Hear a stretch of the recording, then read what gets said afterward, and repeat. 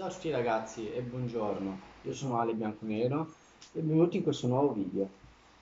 Oggi ragazzi andiamo a parlare del- dei quarti di finale di Champions League che ci sono stati ieri sera e posso dirvi che ci sono rimasto malissimo, nel senso che eh, Bayern Monaco 8, Barcellona 2.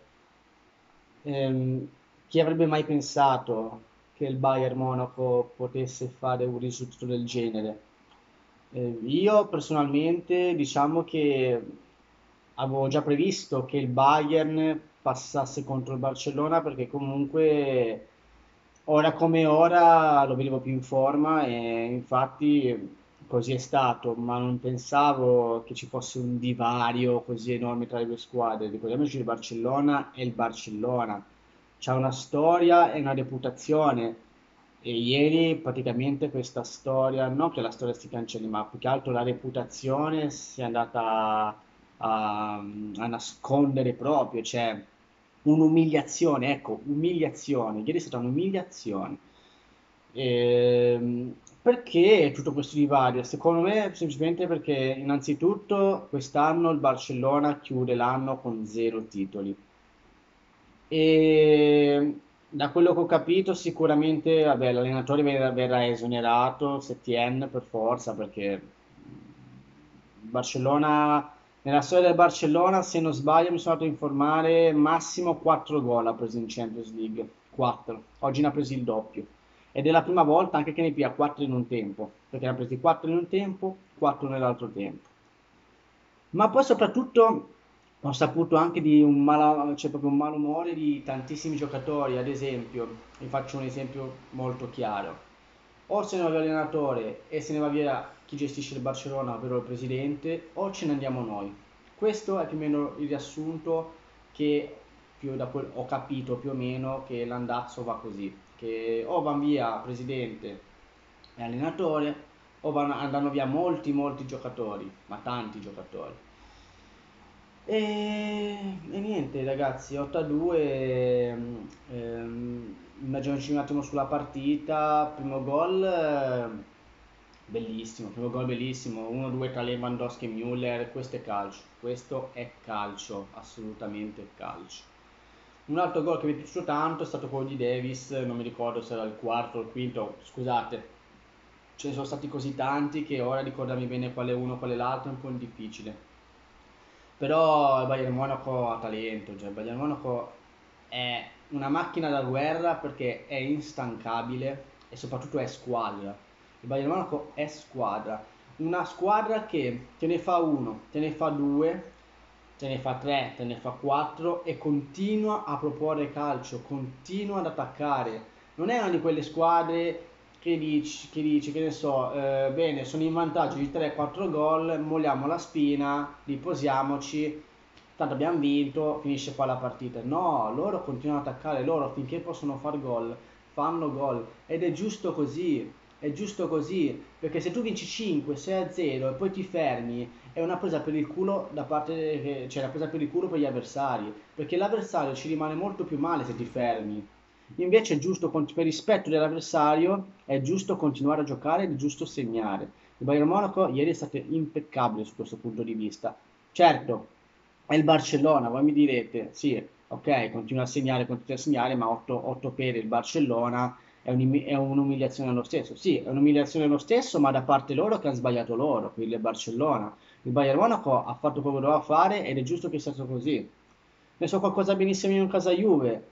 Quante volte quest'anno con la Juventus, anche in campionato, soprattutto in campionato, 3-0 con Napoli all'andata, 3-3 se non è per Koulibaly che fa l'autogol, andiamo a pareggiare, 2-0 col Sassuolo e poi alla fine fino a 3-3 e vinceva 3-2 il Sassuolo.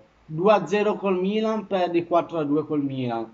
La Juventus va in vantaggio di 1, 2, a volte anche 3 gol, poi si addormenta perché pensa di aver già portato a casa i tre punti, il risultato, rientra in campo che poi alla fine ci fa pareggiare o perde.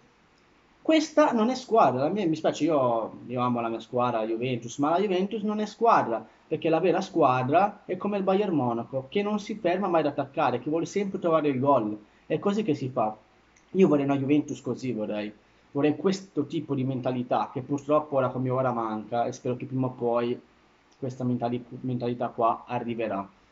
Ha fatto anche un altro gol Lewandowski che comunque ora che il Bayern è passato c'è ancora una semifinale e una finale. Lewandowski sappiamo che è il record, vuole raggiungere anche lui Ronaldo nel, nella cosa dei chi ha fatto più gol in Champions in una stagione. Ora non mi ricordo quanto era, ora aveva fatti 16, Lewandowski forse a 14, 13, non mi ricordo. Correggetemi un attimo poi voi ragazzi, ma io non mi ricordo su questa cosa qua. I numeri non sono diciamo il mio forte. E, e niente, io penso che, mm, che il Barcellona questo risultato qua non se lo, non se lo scorderà mai, non se lo scorderà mai.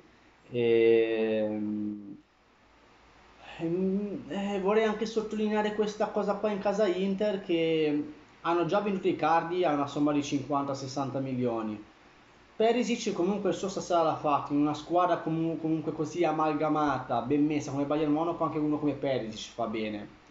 Non sia mai che anche, che anche Perisic viene riscattato dal, dal Bayern Monaco, perché se in tal caso Perisic viene riscattato dal Bayern Monaco, l'Inter con i soldi Cardi più i soldi di Perisic avrebbe già da parte un 100 milioni e passa da investire sul mercato, più gli altri probabili AD come Joao Mario, Vessino, Gagliardini in tal caso Nainggolan se dovesse tornare poi non lo rivogliono lo rivendono. Quindi l'Inter ha già 100 milioni da parte più altri, altri giocatori che devono vendere quindi potenzialmente io già penso a, che l'Inter abbia quei 200 milioni da investire sul mercato quest'anno. E con 200 milioni di mercato ne fai. Già l'Inter ne ha fatto tanto l'anno scorso quindi occhio all'Inter perché se quest'anno l'Inter investe questi soldi e li investe bene l'Inter diventa uno squadrone. Da sportivo lo devo dire diventerà uno squadrone. E con il fatto che abbiamo un nuovo allenatore noi, Pirlo che non ha esperienza, loro comunque hanno sempre un Antonio Conte che per quanto può essere romp- rompipalle, tra virgolette, microfoni e tutto, molto diciamo che contesta sempre sul fatto come allenatore non si può discutere.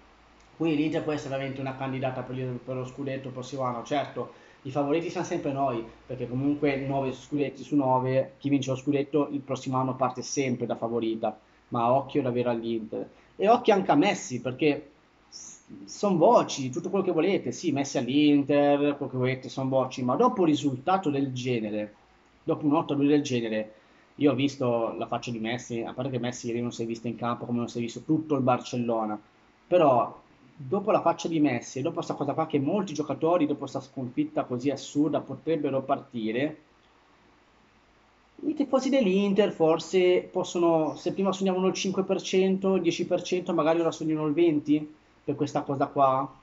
Non lo so, magari. Comunque staremo a vedere ragazzi. E niente, stasera ci sarà Manchester City-Lione.